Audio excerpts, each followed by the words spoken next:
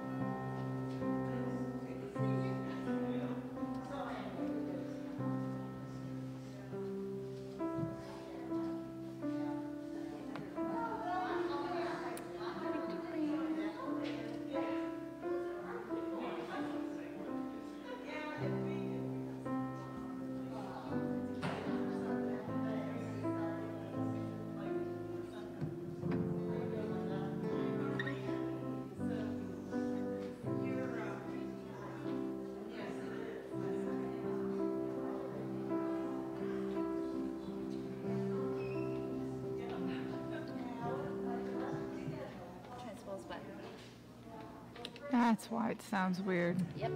There we go.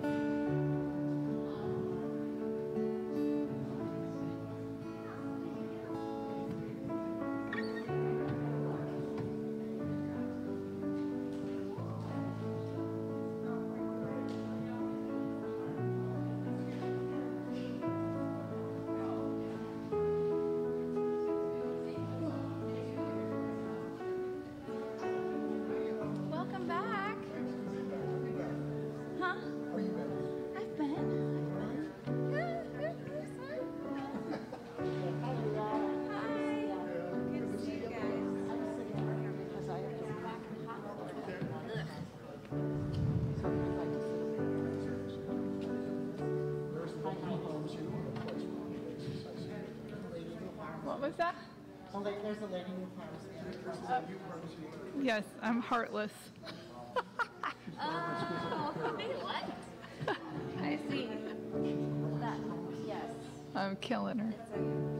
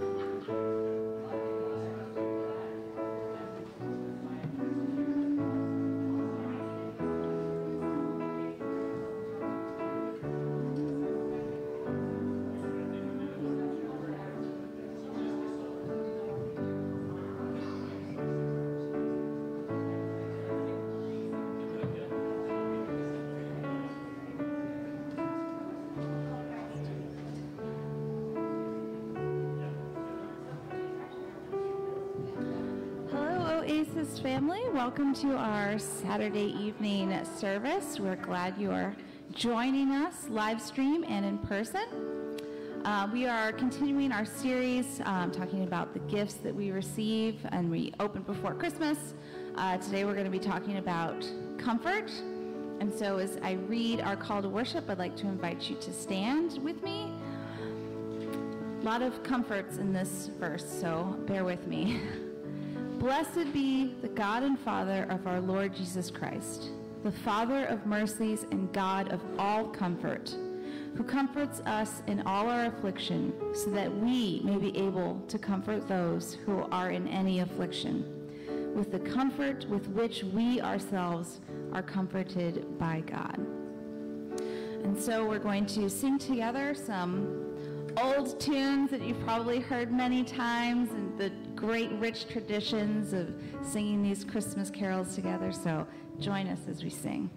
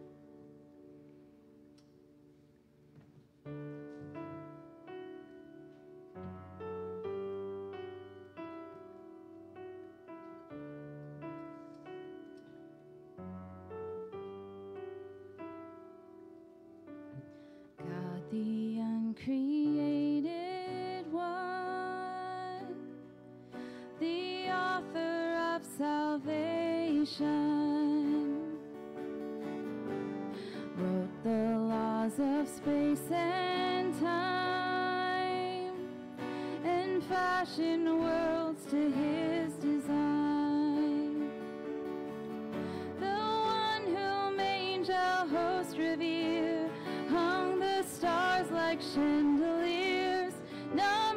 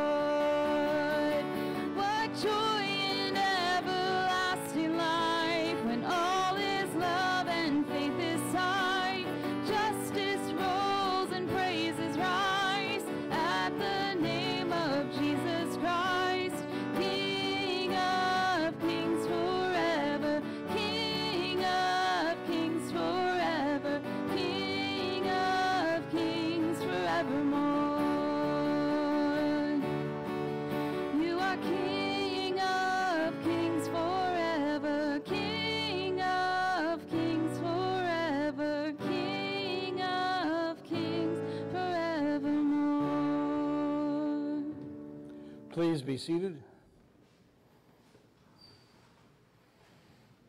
Thank you for being with us for this afternoon worship at Zion Lutheran Church in Fort Myers, Florida. I'm Pastor Hank Simon, leader for this Oasis service. And it's good also to have those of you who are worshiping with us online here today. We're glad you can be part of this celebration of God's comfort, as we'll hear later on in our service. If you're viewing online and you'd like to be kept up to date about what is happening here at Oasis, we have a weekly e-blast that is sent out. And to get on that, all you have to do is send a request to info at zionfm.org, and you'll be able to see what's happening each Saturday as well as other uh, things that are happening here at Oasis. If you have a prayer request or thanksgiving that you would like us to include in our prayers, uh, please send that to me at pastorhank at zionfm.org, and we'll include it in our prayers the next service. For those of you who are, are with us here today in person, uh, there's a sign-in folder on the end of uh, each row of chairs. Uh, if you're with us for the first time, we'd ask that you would please uh, sign in with that information, and if not, just simply write your name in there so that we know that you've been here. Inside that folder are prayer request sheets. They're blue. They look like this. And if you've got a prayer request or Thanksgiving that you would like us to add uh, to our prayers later on in this service, please fill that out and put it in the offering plate when that is passed. Today we welcome back Reverend Dr. Donald Hinchy, Zion's winter pastor, who will be preaching, and Margaret Hinchy, his wife, who will be reading the scriptures. Uh, they helpfully supplement Zion's staff during season. Our theme for this Advent, the season of preparing for celebrating Jesus' birth at Christmas, is opened before Christmas. You can see that our Advent wreath here has three candles which have been lit. That shows we're almost at uh, Christmas Eve. And today we're going to focus on the gift of comfort, a present from the Lord that we can open before Christmas. Let's begin that theme with prayer. Stir up our hearts, Lord Jesus, as we prepare to remember your birth. Bless us with comfort, that we may have peace in these Advent days, secure in your love. We give thanks that you live and rule with the Father and the Holy Spirit, one God, now and forever. Amen. One way to summarize the message with which Jesus came to our planet was that he brings God's comfort. 700 years before Jesus' birth, the Old Testament prophet Isaiah promised that Jesus would come to pay for our sins with forgiveness. This promise, or word of the Lord, Isaiah says, endures forever. Listen now to Isaiah's words. From Isaiah chapter 40. Comfort, comfort, my people, says your God. Speak tenderly to Jerusalem and proclaim to her that her hard service has been completed, that her sin has been paid for, and that she has received from the Lord's hand double for all her sins. A voice of one calling, in the wilderness prepare the way for the Lord. Make straight in the desert a highway for our God. Every valley shall be raised up, every mountain and hill made low. The rough ground shall become level, the rugged places a plain. And the glory of the Lord will be revealed, and all people will see it together. For the mouth of the Lord has spoken. A voice says, Cry out. And I said, What shall I cry? All people are like grass, and all their faithfulness is like the flowers of the field. The grass withers, and the flowers fall because the breath of the Lord blows on them. Surely the people are grass. The grass withers and the flowers fall, but the word of our God endures forever. On Maundy, Thursday, in Holy Week, before Jesus is seized and eventually led away to be executed, he assures his disciples that he will not leave them and us to fend by ourselves spiritually. Jesus promises to send another comforter, the Holy Spirit, to be with them after Jesus returns to the Father. From the Gospel of John, the 14th chapter, beginning at verse 15. If you love me, keep my commands, and I will ask the Father, and he will give you another comforter to help you and to be with you forever, the Spirit of truth. The world cannot accept him because it neither sees him nor knows him. But you know him, for he lives with you and will be in you. I will not leave you as orphans. I will come to you. Before long, the world will not see me anymore, but you will see me. Because I live, you also will live. On that day, you will realize that I am in my Father, and you are in me, and I am in you. All this I have spoken while still with you, but the Comforter, the Holy Spirit, whom the Father will send in my name, will teach you all things and will remind you of everything I have said to you. Peace I leave with you, my peace I give to you. I do not give to you as the world gives. Do not let your hearts be troubled, and do not be afraid. This is the word of the Lord. Speed to God.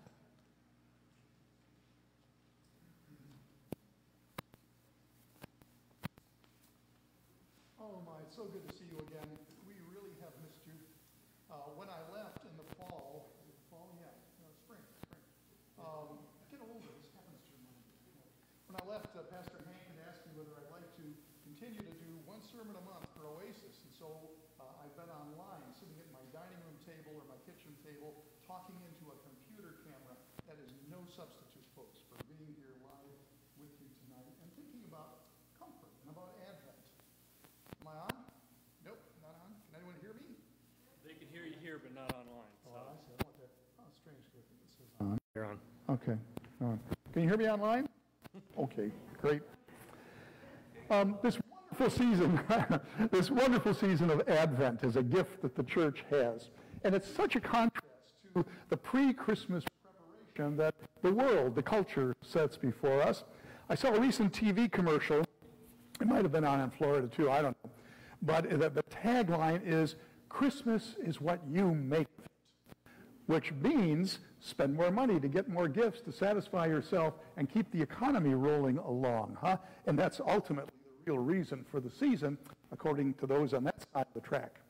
But the church, for 2,000 years, give or take, has said that Christmas is what God has made of it, not what you make of it.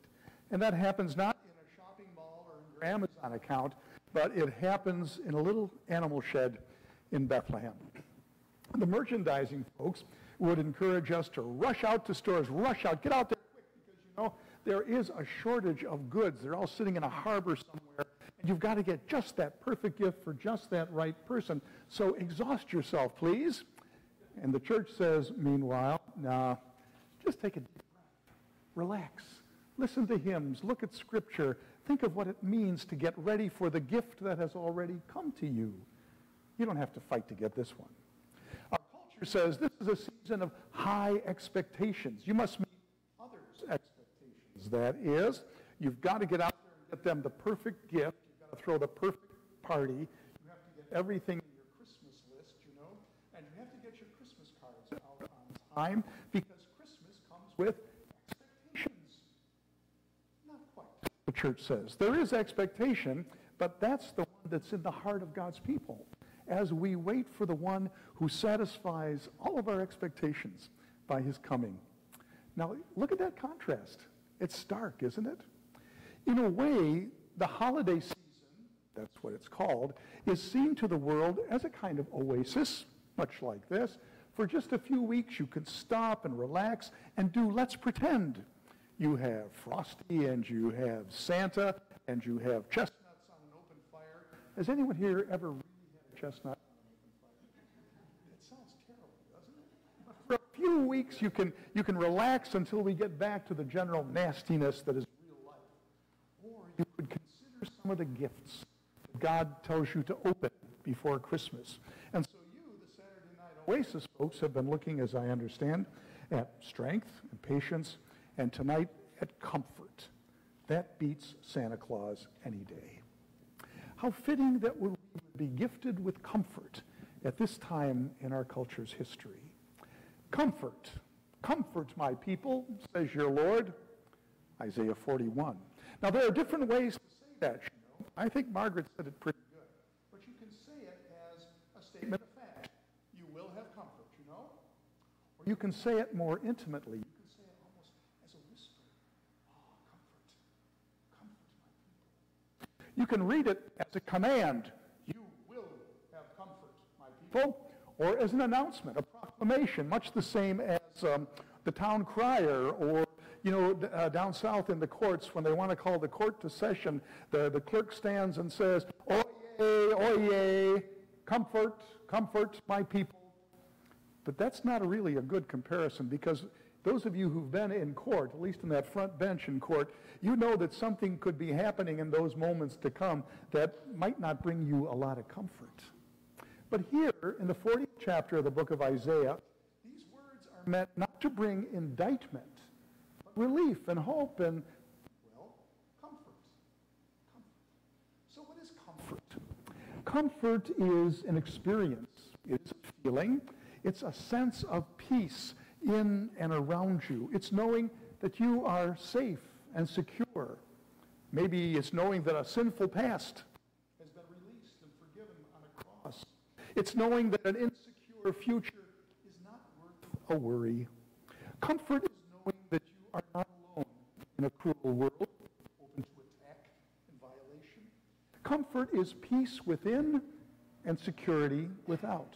When your world is falling apart, comfort provides that real footing, that oasis where you can rest and regroup and find your anchor.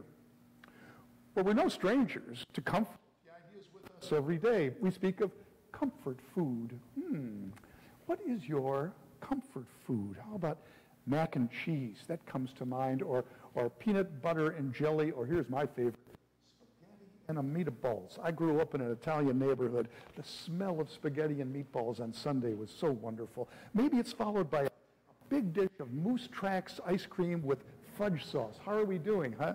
Anyone getting a little hungry? Get some comfort food. At our church, uh, Redeemer Lutheran Church in Fort Collins, Colorado, northern Colorado, we have a comfort dog ministry. These are our comfort dogs. Uh, one is, uh, let's see, Cubby is on this side, Devorah, say Hebrew for Deborah, is on the other side. And when they're not patrolling hospital corridors, um, they wander into rooms. They offer themselves for you to, to pet and to snuggle up to. When they're not doing that, they are deployed through a national organization to places of, uh, of disasters, floods, fires, school shootings. Cubby was most recently uh, deployed with her handler to Oxford High School in Oxford, Michigan, where you might remember on June 30th, a 15-year-old student killed four of his classmates, wounded seven.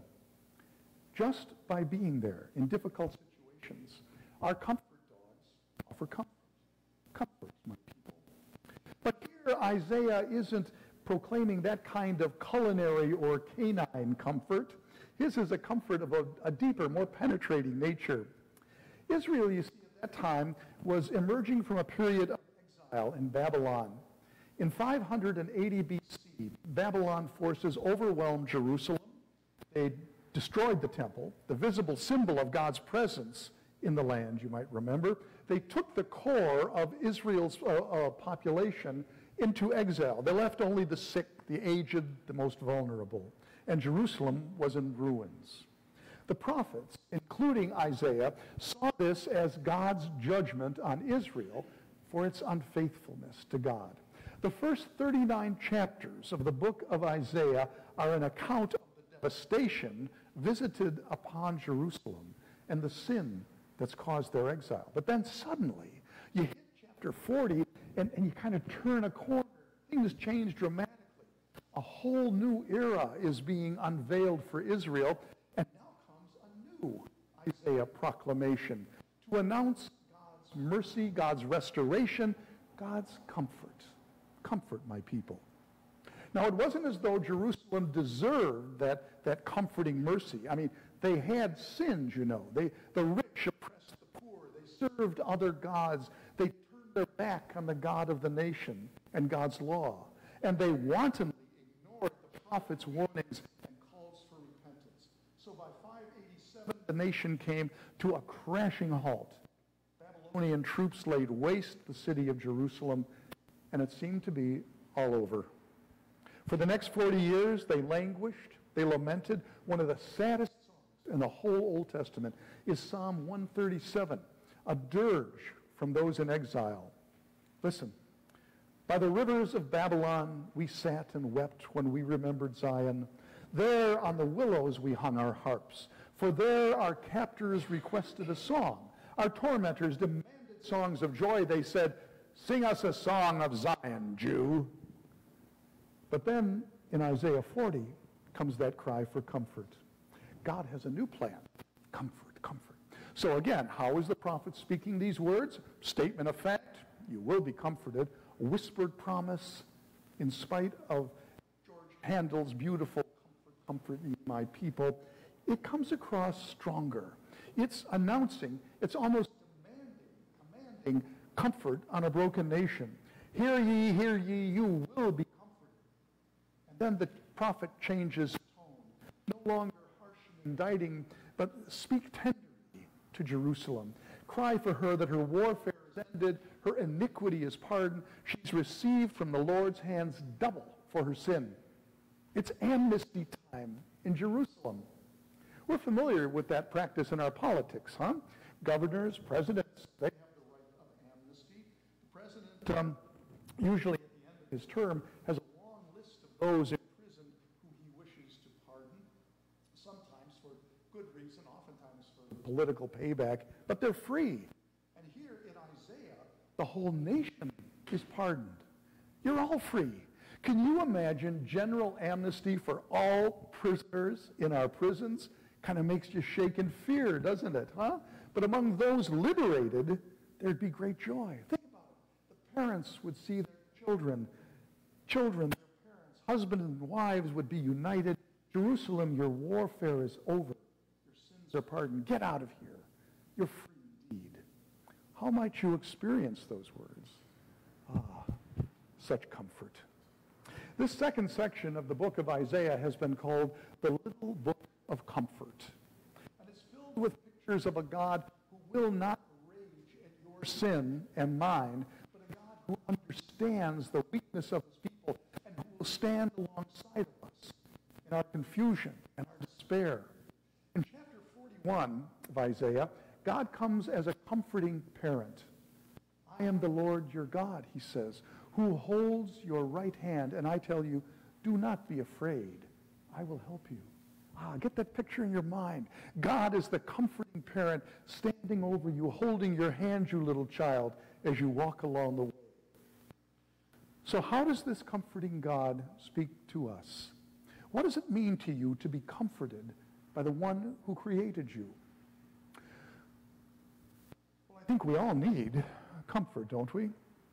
Especially after this year and a half in which we found ourselves cast into such uncertainty because of this insidious, pervasive virus that has claimed, what latest statistics, 793,000 deaths in the U.S., 62,000 in Florida alone. Last night we got word that one of my colleagues back in Denver, uh, pastor, um, uh, school principal, uh, succumbed to complications of, of COVID. He's in what, his early 60s, Margaret, Jules was. A raging debate then comes up about those who accept vaccination as a means of preventing the spread of this disease and others who, for various reasons, insist on their personal freedom to deny vaccination. And just when you thought it was safe to take off that mask, along comes Omicron. In Babylon, we too have been exiles in this strange land of coronavirus. And we're awaiting the word of release and the pronouncement by God, oh, comfort my people. And if that's not enough, let's discuss our discomforting political environment. Huh? Such contention, such divisiveness, such anger and discord in the halls of Congress, and then those awful pictures of the January 6th storming of the Capitol, always before us. We are so much like these exiles in Babylon whom Isaiah addresses more so than we can imagine. Down and out, washed up, exhausted, looking for some sense of meaning and purpose to this coronavirus battered, politically assaulted culture of ours. There are times when we think that we can get that comfort by ourselves. It can come in some drugs, can come in a few drinks, can come in some cheap sex. But when the buzz wears off, when the loved one leaves, there we sit with a headache and a hollow feeling, and nothing has changed. No comfort. Now, Jesus, in that second reading, as he prepared to leave his disciples, he makes them a promise very similar to Isaiah's in his little book of comfort. In John's gospel, as Jesus prepares his disciples for his leaving, he tells them, I will ask the Father, and he will give you another comforter, a Holy Spirit, an advocate, a counselor, translations vary, to be with you forever. This is the Spirit of truth, he says. Jesus knows that on our own we will flounder and we will fall and we will look in all the wrong places for comfort. So God places the living Spirit of, the, of, of God, the Holy Spirit, in our midst and calls it our comforter. The Greek word is so beautiful. It is parakletos. Parakletos. Our advocate, our helper, our intercessor, our counselor, our comfort. And this is the the, translation literally means that this is the one who literally stands alongside of us. This is your defense attorney as you're standing before the bench. He's going to uphold you. He's going to speak for you because he is your parakletos, the comforter who knows you intimately. He knows your sins and failures, your pride and prejudices and pettiness, your fears, your never-ending worries for the future. But this Spirit still stands alongside of us, strengthening us, comforting, renewing. Notice that it's Jesus who promises the Parakletos, the Holy Spirit comforter. And he's willing to give everything, to bring that Spirit into our midst. Our comfort, our eternal comfort, will come at the, pro- the price of his life on the cross, a most uncomfortable place. Jesus takes all of our discomforts upon himself, and he brings them before the throne of God on the cross. We're perhaps familiar with the seven last words on the cross. We hear them every Lent. I'd like to suggest to you, though, that behind them all, there is an eighth word. As he gives his life, you can almost hear him proclaiming, Comfort, comfort my people, says your Lord. In his death and his resurrection, we find the ultimate comfort, the knowledge that God the Father is walking alongside of us, holding the hand like a parent to a child. And then he looks you in the eye and he says, I love you. I love you. And those who believe in him will not only have everlasting life, but comfort each day as well. We have received from our Lord the gift of comfort. But it's also a gift that we share with others. It's a cry to comfort. You heard that in that reading from 2 uh, Corinthians. Blessed be the God, the, Lord, the Father of our Lord Jesus Christ, the God of all comfort, who comforts us in our pain, so that we are able to comfort others in their pain. The best comforters are the ones who have been comforted. Let's get personal, shall we? There are those in this room who have known the pain of cancer, the uncertainty of cancer. Maybe you've gone through all your treatments and you've survived. Maybe you're still struggling with that awful disease. But to you who have experienced that cancer has been given the gift to comfort other cancer patients. You have been in one particular valley of the shadow of death, and now you're better equipped to walk with others in their valleys.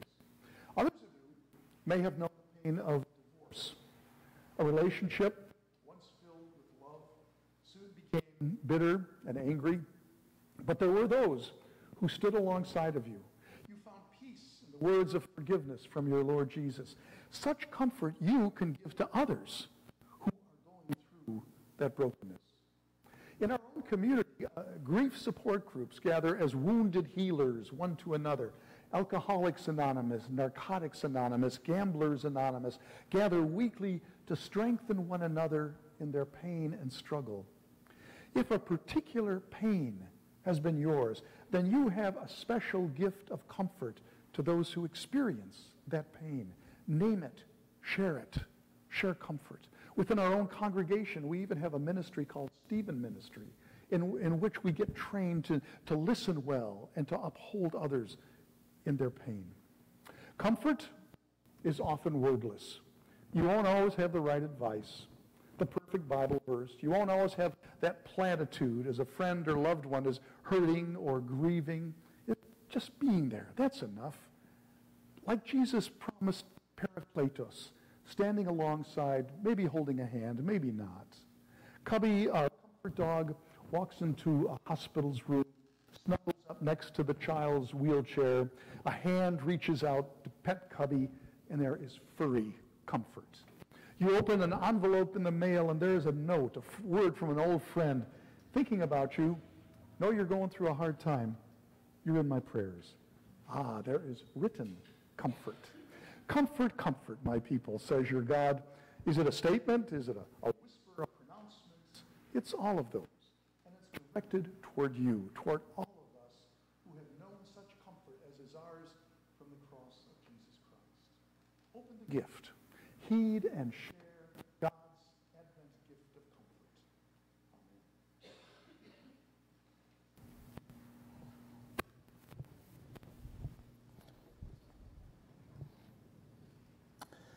During the next song, we will pass the collection plate to gather offerings and prayer requests. Please also use the sign-in folder if you've not done that yet. We respond to God's word with our song.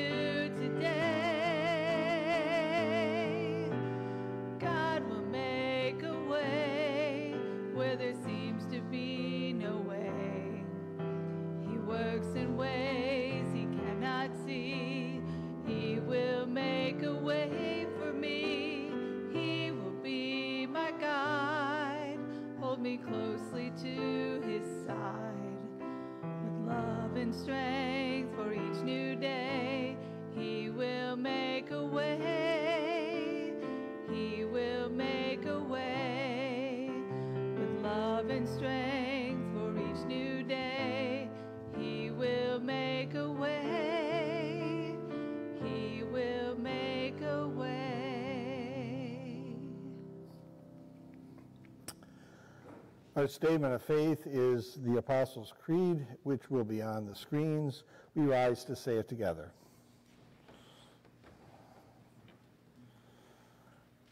I believe in God the Father Almighty, maker of heaven and earth, and in Jesus Christ, his only Son, our Lord, who was conceived by the Holy Spirit, born of the Virgin Mary, suffered under Pontius Pilate, was crucified, died, and was buried. He descended into hell. The third day he rose again from the dead. He ascended into heaven and sits at the right hand of God the Father Almighty. From thence he will come to judge the living and the dead. I believe in the Holy Spirit, the holy Christian church, the communion of saints, the forgiveness of sins, the resurrection of the body, and the life everlasting. Amen. Please be seated. In our prayer requests today, we remember Reverend Greg Walton, the president of the Florida Georgia District of the Lutheran Church Missouri Synod, who is recovering from a mild case of COVID-19. And then we also have a prayer request here from Linda Woodman for the people of uh, Edwardsville, Illinois, which is uh, a suburb of St. Louis, and it's Linda's hometown. You may have heard that uh, the Amazon warehouse there collapsed uh, because of a tornado last, last night. Uh, last report I heard is that two people were killed um, and others who were trapped. So um, Linda asked that we pray for the victims and the rescue workers. Uh, the line of tornadoes that went through the middle section of our country uh, also, of course, hit Kentucky, where dozens of people are feared dead. Uh, also, a, a, nursing home in Arkansas. And so we will uh, lift those people up who are grieving uh, loved ones who have uh, died or who have been injured and which has occurred there. We come before the Lord in prayer. God of comfort, you sent your Son Jesus to bind up the brokenhearted and bring peace to the troubled. Draw us together that we comfort one another when that is needed, and that we also reach out to the world with your heavenly comfort. Thank you for the blessings which you continue to supply as we prepare during this Advent season to welcome Jesus. Give your Spirit that we might enjoy times of refreshing as we hear your word and remember that he is born to be Emmanuel, God with us. Hear our prayers now for your children and for all people according to their needs. We pray for guests in our worship today here at Oasis and tomorrow in the sanctuary. Welcoming Jesus, bless their time with us, that they may rejoice in your presence with them and find comfort where they need it. We pray for those who travel or will travel, Lord God. You are the maker of heaven and earth. As the psalmist writes, in these days, bless our goings out and our comings in. We pray for our country. Lead us to open our ears as well as our hearts to one another. Bless our leaders with humble hearts, listening ears, and servant-like caring for all. Bring us together to seek liberty and justice for all. We pray for individuals who need healing or have other needs, including President Walton, and those persons known individually to us whom we now name silently in our hearts.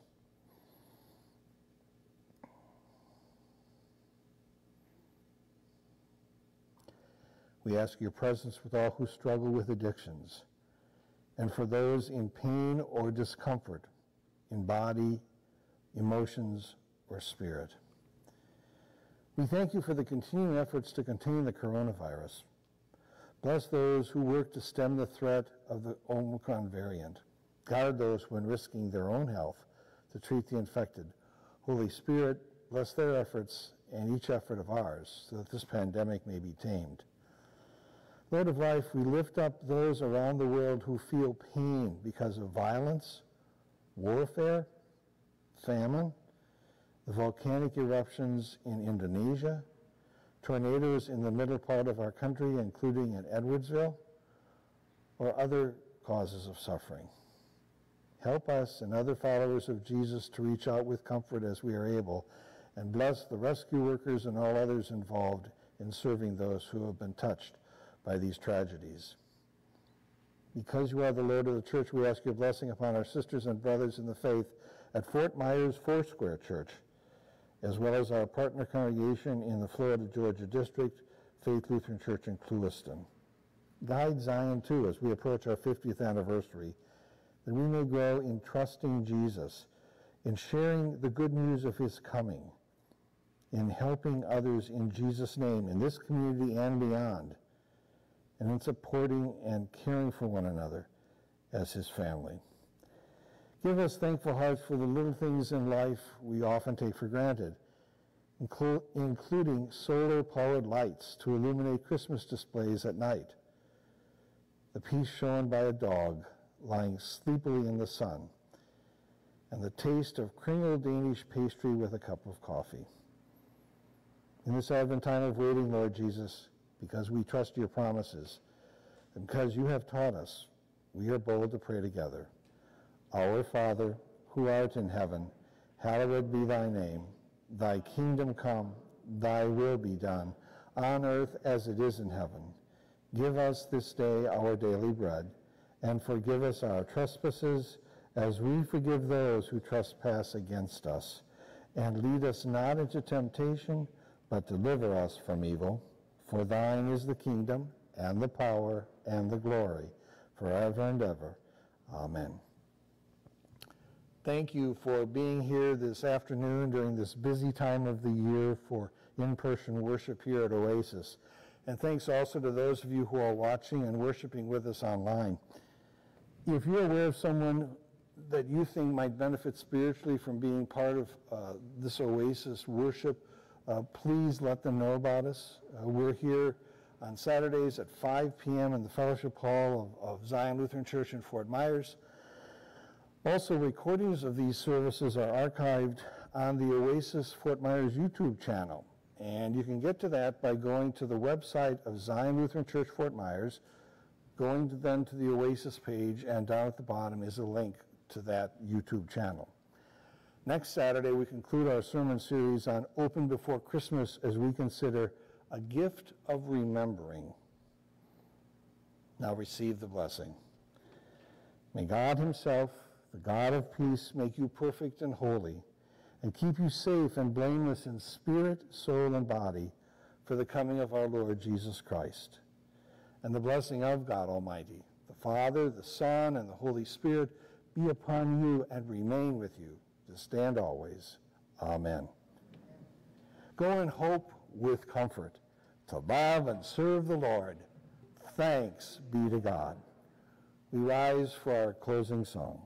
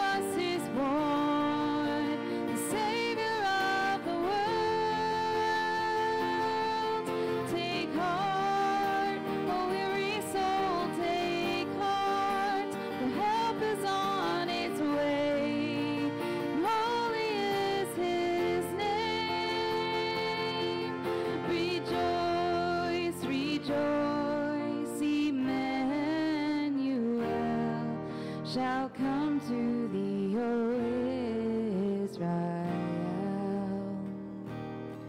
shall come to thee, O